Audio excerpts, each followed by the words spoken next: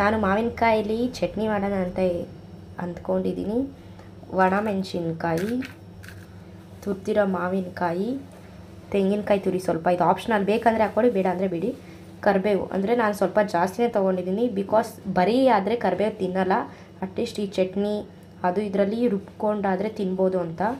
ಸ್ವಲ್ಪ ಕೊತ್ತಂಬರಿ, ಒಂದಿಷ್ಟು ಬೆಳ್ಳುಳ್ಳಿ ಇದು ಕಡಲೆಕಾಯಿ ಬೀಜ. ನಾನು ನಮ್ಮ ಮನೆಯಲ್ಲಿ ಬಾಕ್ಸ್ ಇದೆ. ಅಷ್ಟೊಂದು ಒಂದಿಷ್ಟು ತೊಗೊಂಡಿದ್ದೀನಿ ಅಂದರೆ ಒಂದು ಅರ್ಧ ಇಡಿ ಅಷ್ಟು ತೊಗೊಳ್ಳಿ ನೀವಾದರೆ. ಹುರ್ಗಡ್ಲೆ ಸ್ವಲ್ಪ ಉಪ್ಪು ರುಚಿಗೆ ತಕ್ಕಷ್ಟು. ಇದನ್ನು ನಾವು ಫಸ್ಟು ಎಂಚ್ ಮೇಲೆ ಇದು ಹುರ್ಕೋಬೇಕು ಸ್ವಲ್ಪ. ಹುರ್ಕೊಳ್ಳೋಣ. ಹುರ್ಕೊಳ್ಳೋಣ. ಈ ಥರ ಹಿಂಗೆ ಬ್ಲ್ಯಾಕ್ ಆಗೋ ತನಕ ಉರಿಬೇಕು ಸಿಪ್ಪೆ ಹಿಂಗೆ ಅಂದಿದ ತಕ್ಷಣ ಬರಬೇಕು. ಅದಿನ್ನೂ ಆಗಿಲ್ಲ. ಸಿಪ್ಪೆ ಬಿಚ್ಕೊಳ್ಳೋ ಅಂದರೆ ಸುಮ್ಮನೆ ಹಿಂಗೆ ಅಂದಿದ ತಕ್ಷಣ ಸಿಪ್ಪೆ ಬಂದುಬಿಡುತ್ತೆ. ಅವ ಅಲ್ಲಿ ತನಕ ಹಿಂಗೆ ಉರಿಬೇಕು. ಈ ಚಟ್ನಿ ನಮ್ಮ ಅಜ್ಜಿ ಹೇಳ್ಕೊಟ್ಟಿದ್ದು. ಈ ಚಟ್ನಿನ ಮುದ್ದೆ, ಚಪಾತಿ ಅನ್ನಗೆ ಎಲ್ಲ ತಿನ್ಬೋದು. ಇದನ್ನೇನಾದ್ರೂ ಚಟ್ನಿ ತಿಂದವ್ರು ಒನ್ಸ್ ಮೋರ್ ಆಹಾ, ಓಹೋ ಅಂತಾರೆ. ಒನ್ಸ್ ಮೋರ್ ಒನ್ಸ್ ಮೋರ್ ಅಂತ ಜಾಸ್ತಿ ಹಾಕ್ಸ್ಕೊಂಡು ತಿಂತಾರೆ. ಮಾವಿನಕಾಯಿ ಚಟ್ನಿ ಸಖತ್ತಾಗಿರುತ್ತೆ ಮಾತ್ರ. ಮುದ್ದೆ ಜೊತೆ ಮಾತ್ರ ಸೂಪರಾಗಿರುತ್ತೆ. ಇದು ಆಗಿದೆ. ಇದು ತಣ್ಣಗಾಗಲಿ, ಆಮೇಲೆ ಸಿಪ್ಪೆ ಉರಿಯೋಣ. ಸೈಡಲ್ಲಿ ಇಕ್ಕೋಗ್ಬಿಡ್ತೀನಿ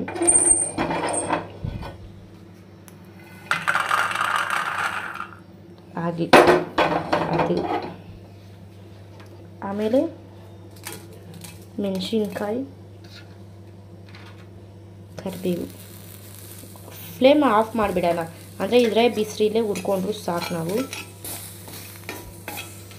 ಅಂದರೆ ಕರಿಬೇವು ಉರಿಬೇಕು ಸ್ವಲ್ಪ, ಅವಾಗ ಟೇಸ್ಟ್ ಚೆನ್ನಾಗಿ ಕೊಡುತ್ತೆ. ಮತ್ತು ಒಣಮೆಣ್ಸಿನ್ಕಾಯಿ ಯಾವ್ದಾದಕ್ಕೆ ಹಾಕ್ತೀವೋ ಅವಾಗೆಲ್ಲ ಉರಿಬೇಕು ಚೆನ್ನಾಗಿರುತ್ತೆ. ಅಂದರೆ ಇದೊಂದು ಜಾಸ್ತಿ ಉರಿಬಾರ್ದು ಸುಮ್ಮನೆ ಹೀಗೆ ಬಿಸಿ ಬಿಸಿಲಿ ಇಟ್ಬಿಟ್ಟು ಒಂದು ಅದು ಮೂವತ್ತು ಸೆಕೆಂಡ್ ಮಾತ್ರ ಇಟ್ಬಿಟ್ಟು ತೆಗೆದುಬಿಡಬೇಕು. ಇವಾಗ ಇದಾಗಿರುತ್ತೆ. ಇದನ್ನ ನೋಡಿ ಹಿಂಗೆ ಸಿಪ್ಪೆ ಹಿಂಗೆ ಅಂದಿದ ತಕ್ಷಣ ಬರುತ್ತೆ.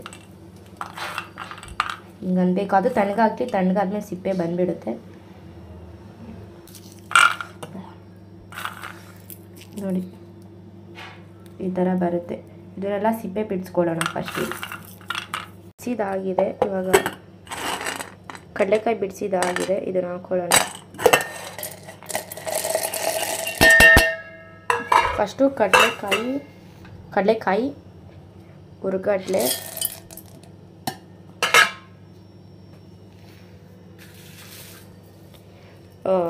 ಕರಿಬೇವು ಮತ್ತು ಮೆಣಸಿನ್ಕಾಯಿ. ಕೊಡೋಣ ಯಾಕೆ ಅಂದರೆ ಸ್ವಲ್ಪ ಇದು. ಅಂದರೆ ಒಂದು ರೌಂಡ್ ಮಾತ್ರ ತಿರುಗಿಸ್ಬೇಕು.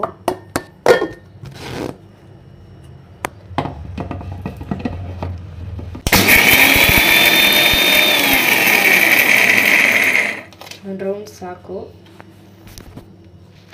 ನೋಡಿ ಎಷ್ಟು. ಅಂದರೆ ಸ್ವಲ್ಪ ಸಾಕು. ಇವಾಗ ಇದಕ್ಕೆ ಕೊತ್ತಂಬರಿ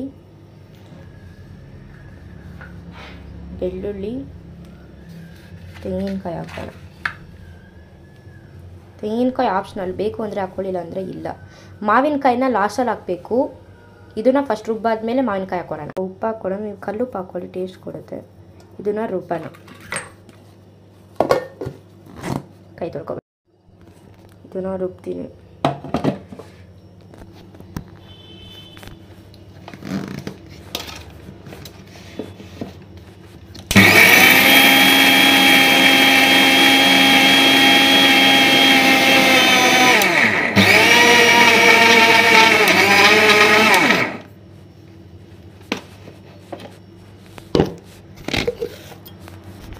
ಇವಾಗ ಹಿಂಗಿದೆ ಇದಕ್ಕೆ ಮಾವಿನಕಾಯಿ ಮತ್ತು ಸ್ವಲ್ಪ ನೀರು ಹಾಕಿ ಇದು ಮಾಡೋಣ.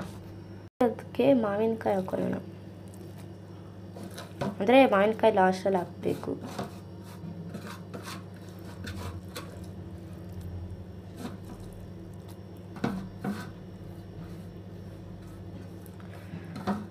ಸ್ವಲ್ಪ ಹಾಕ್ತೆ ರುಚಿಗೆ ಬೇಕು ಅಂತ ಇದನ್ನು ರುಬ್ಕೊಳ್ಳೋಣ ಇಲ್ಲಿ.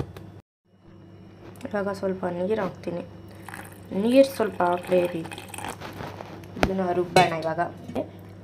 ಇದಕ್ಕೆ ಒಗ್ಗರಣೆ ಹಾಕೊಂಡ್ರೆ ಸಖತ್ತಾಗಿರುತ್ತೆ ಟೇಸ್ಟು ಅದಕ್ಕೆ ಒಗ್ಗರಣೆ ಹಾಕೊಳ್ಳೋಣ ಇರಿ. ಇವಾಗ ಇದು ಗಟ್ಟಿದಿರುತ್ತಲ್ಲ ಇದನ್ನು ಸ್ವಲ್ಪ ಎತ್ತಿ ಕೋಳಿ ಇದು ಒಂದು ವಾರ ಹದಿನೈದು ಈ ಗಟ್ಟಿ ಚಟ್ನಿನ ಒಂದು ವಾರ ಇಲ್ಲಾಂದರೆ ಹದಿನೈದು ದಿವಸ ಇಕ್ಕೊಂಡು ತಿನ್ಬೋದು. ಫ್ರಿಜ್ಜಲ್ಲಿ ತಿನ್ನಿ. ಈ ಚಟ್ನಿನ ಚಪಾತಿ, ಮುದ್ದೆ, ಅನ್ನಾಗೆ ತಿನ್ಬೋದು. ದೋಸೆಗೂ ತಿನ್ಬೋದು. ಎಲ್ಲದಕ್ಕೂ ರುಚಿ ಕೊಡುತ್ತೆ ಈ ಮಾವಿನಕಾಯಿ ಚಟ್ನಿ. ಇದನ್ನು ಒಗ್ಗರಣೆ ಹಾಕ್ಕೊಂಡು ನೀರು ಹಾಕೊಂಡು ಕಲಿಸ್ಕೊಂಡಿದ್ದೀನಿ. ನಾನು ನೀರು ಚಟ್ನಿ ತಿನ್ನೋದ್ರಿಂದ ನೀರಾಗಿ ಕಲಿಸ್ಕೊಂಡಿದ್ದೀನಿ. ಇದಕ್ಕೆ ಒಗ್ಗರಣೆ ಹಾಕ್ಕೊಳ್ಳಿ ಟೇಸ್ಟ್ ಕೊಡುತ್ತೆ. ಒಗ್ಗರಣೆಗೆ ನಿಮ್ಗೆ ಯಾವ್ದು ಬೇಕೋ ಅದು ಹಾಕೋಬೋದು ಅನ್ನಕ್ಕೆ ದೋಸೆ, ಚಟ್ನಿ, ಬಳಸ್ಬೋದು. ಜೀರಿಗೆ ಮತ್ತು ಮೆಣಸಿನ್ಕಾಯಿ ಕರಿಬೇವು ಹಾಕ್ಕೊಡಿ ಇದನ್ನ ದೋಸೆ, ಇಡ್ಲಿ ಅನ್ನ ಚಪಾತಿಗೆ ಎಲ್ಲದಕ್ಕೂ ತಿನ್ಬೋದು ಟೇಸ್ಟ್ ಸಕ್ಕತ್ತಾಗಿ ಕೊಡುತ್ತೆ. ಈ ಥರ ಮಾಡ್ಕೊಳ್ಳಿ ತಿನ್ಕೊಳ್ಳಿ ಇದನ್ನ ತಿಂದೋರು ಒನ್ಸ್ ಮೋರ್ ಒನ್ಸ್ ಮೋರ್ ವಾ ವಾ ವಾ ವಾ ಅಂತಾರೆ. ಮಾವಿನಕಾಯಿ ಚಟ್ನಿ ರೆಡಿ ಈಸಿಯಾಗಿ ಬೇಗ ಹತ್ತು ನಿಮಿಷದಲ್ಲಿ ಮಾಡ್ಬೋದು.